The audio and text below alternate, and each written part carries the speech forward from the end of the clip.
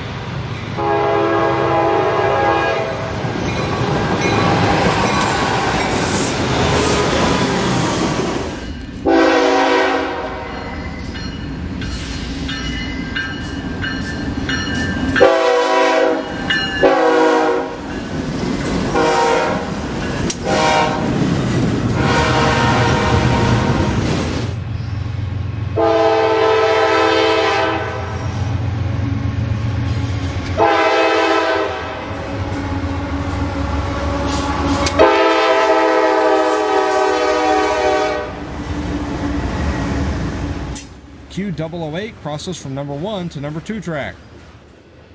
Q008 runs from East St. Louis to Little Ferry, New Jersey.